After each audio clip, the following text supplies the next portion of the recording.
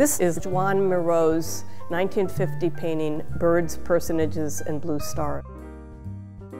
Miro made this painting on raw, unprimed linen, which was an unusual and specific choice for an artist. The spattering of white, which is probably a relic of the gesso showing through, evokes an infinite space like the night sky.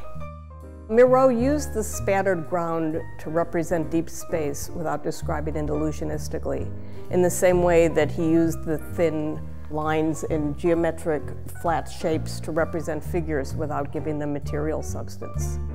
Well, I'm a painter, and one of the things I'm really interested in is um, trying to um, make paintings that can talk about both abstraction and representation. And Miró is one of the people who suggests that when we look at things that are abstract, we see them representationally, and we look at things that are representational, we also use abstraction. In this painting, he anchors the painting with a blue star, but it penetrates an open circle that implies a face with floating features.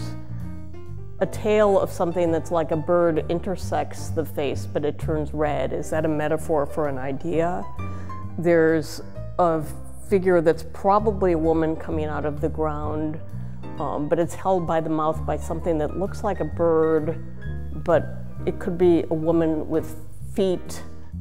Miró makes this world in which you're not sure whether something is a thing or it's a form.